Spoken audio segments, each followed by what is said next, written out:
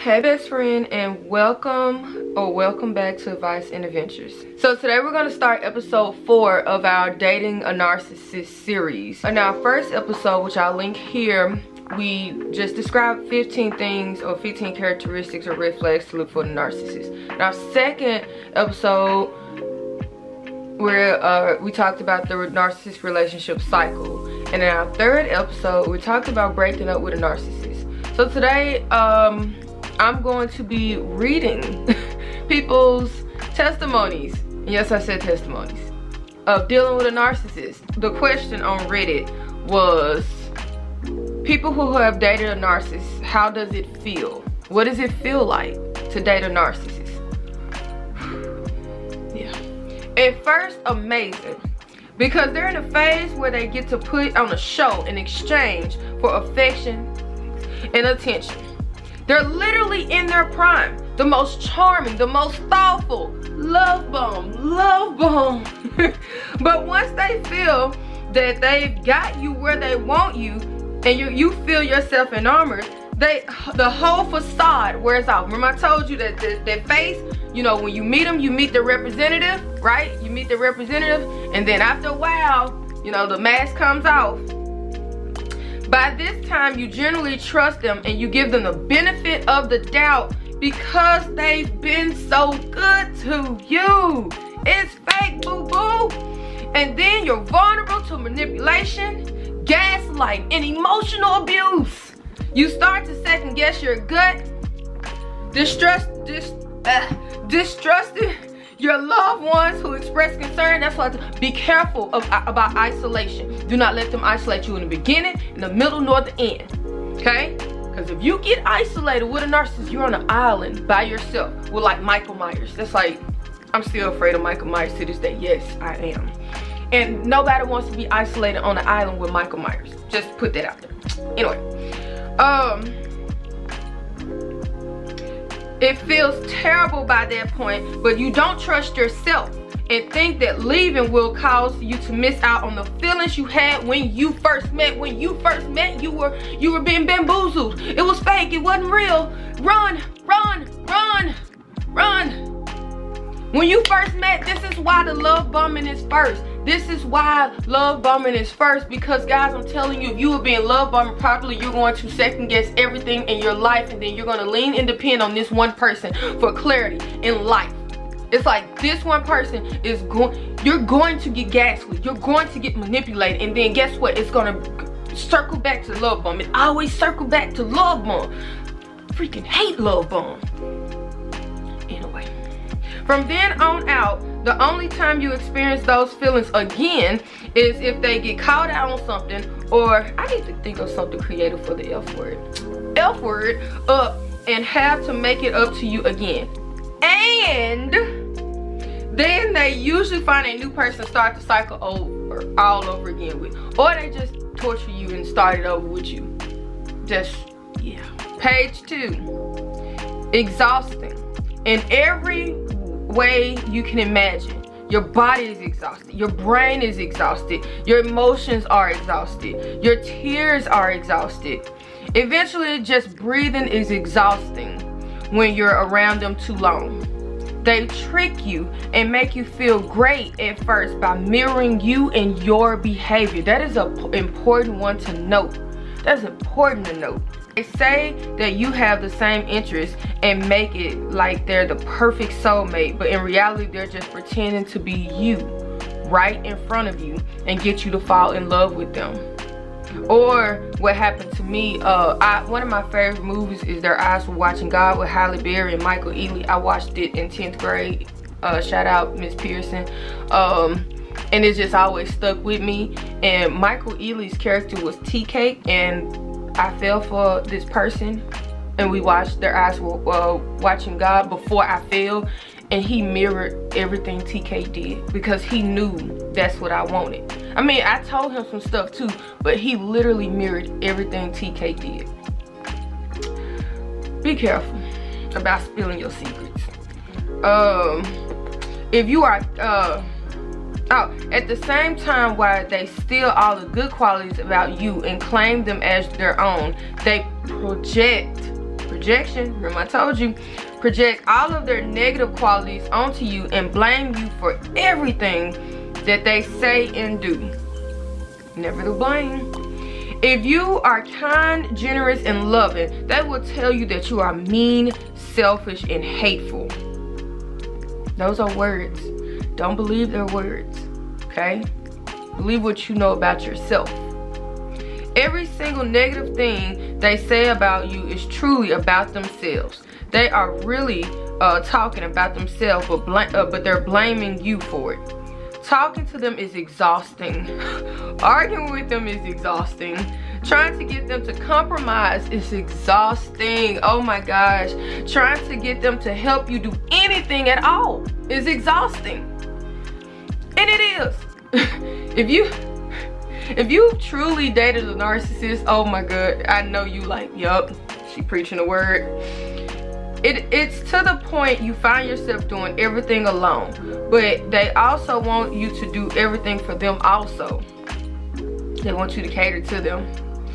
You're doing all the cleaning and all the workload because it's too exhausting to try to get them to help you with anything because you don't want to have another GD argument. Exhausting is a great description. She ain't lying or he ain't lying.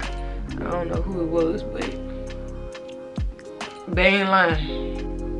Alright, the third one. Emotionally draining and exhausting. Sensing a theme here.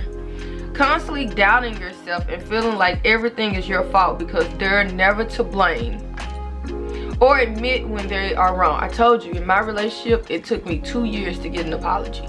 Two years not two days not two months not two two years to get an apology because he was never wrong according to himself uh, they always make you feel like they are that you are you're being a bad partner and that they are being the perfect partner to you even when they treat you like sugar honey iced tea in arguments if you defend yourself they tell you to stop acting like the victim or something similar to that. And usually, I'm gonna tell you to look out for this. Usually, they're the one being playing victim.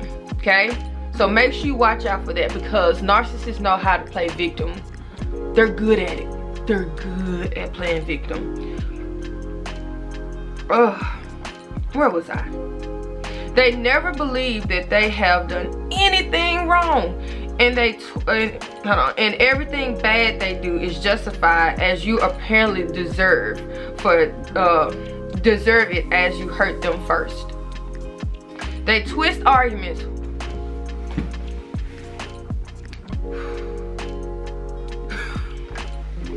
y'all i promise y'all i didn't do any of this until after. I had already done all my three videos before i looked this up. I was like what can i do for my fourth video?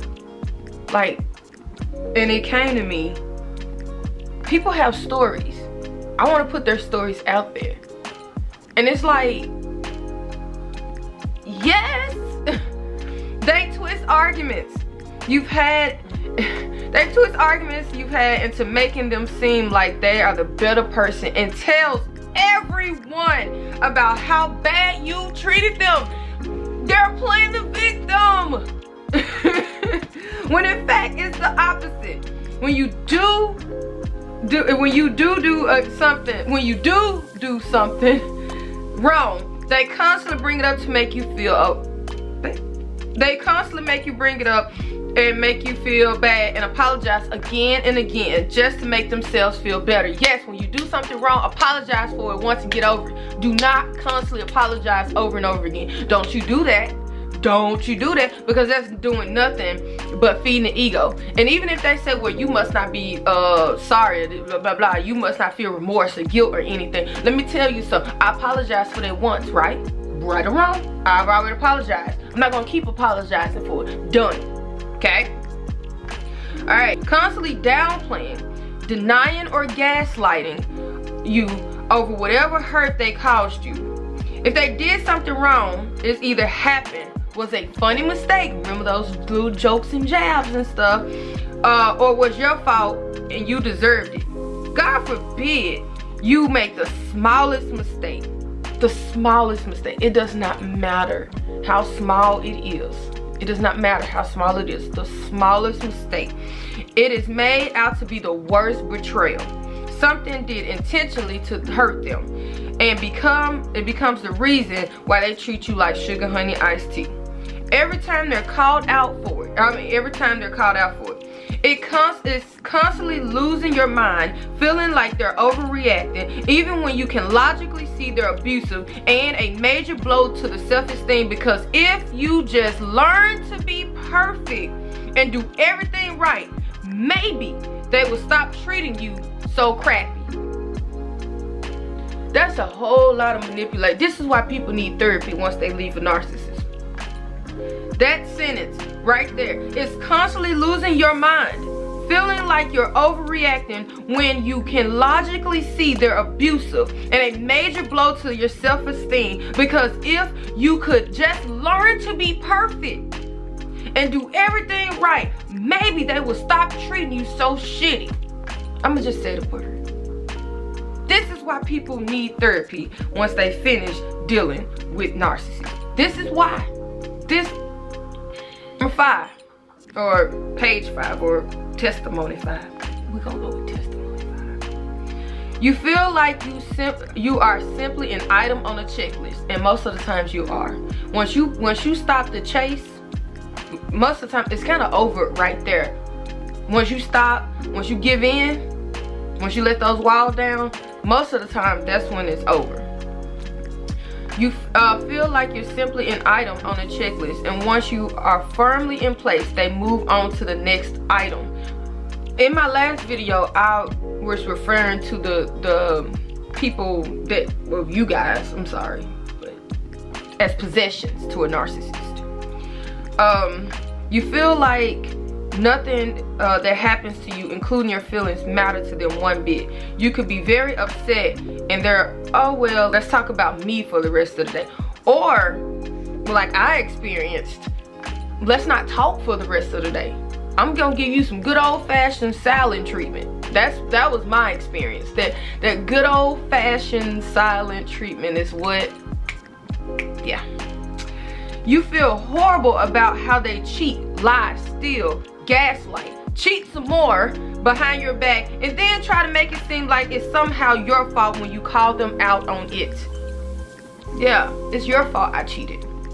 It's your fault I was in bed with this person. It's your fault one thing led to another. You feel like running away when they get into hyper rage over something that's no big deal and then wonder why you are so upset. You feel bad when every person you know, even some of their best friends, warn you about them and tell you the GTFO of the relationship. Now, you know you're dealing with somebody dangerous when their when their friends and family tell you, baby, run, run, run. But no, I love him. I, That's the love bomb stage. It's not even your fault. I've been there. So I can make of us. I've been there. It's not your fault. It's not. It's totally exhausting. Every day is some new drama they invent. Our last one. It's incredible at first. Love bombing. This focus, this person is focused solely on you and it's incredibly devoted to you. They are all about you. They shower you with gifts and words of affection and usually you're too young and naive at the time to understand what's truly going on. Then they slowly begin to change. They pick arguments over things that literally don't matter at all. Yell at and chastise you for the smallest infractions. Every problem they have is ultimately your fault. And the narcissist is never wrong. Talking to them always turns into a fight and fighting with the narcissist is emotionally draining. We've heard draining a lot and exhausting a lot in this video. Eventually they dump you and move on to their next victim and you're left trying to fit the shattered pieces of your life back together. Baby, I, if they dump you, consider yourself blessed. Consider yourself blessed if a narcissist dumped you and moved on to another person. I know it doesn't feel like blessings, but let me tell you something it's a blessing if they went on about their business, that's a blessing because the the alternative is is is tragic. It's something where you're gonna have to go through therapy. You can't go the alternative. You can't go and have a few drinks with your your your, your girlfriends and, and talk about it and slowly be okay. The alternative, you're going to need some form of therapy. Okay. I hope these uh six situations or six testimonies as I like to call them help you out uh, in some way, shape, form, or another. I think I'm gonna do this again. I kind of like this. You know, just letting everybody know you're not alone. You're not experiencing it. Like, it helped me too because I'm not alone. Like, I didn't just experience it. I wasn't the only one. So, don't forget to subscribe. Don't forget to like this video. Share it with somebody who needs it. And I'll see you guys in the next video.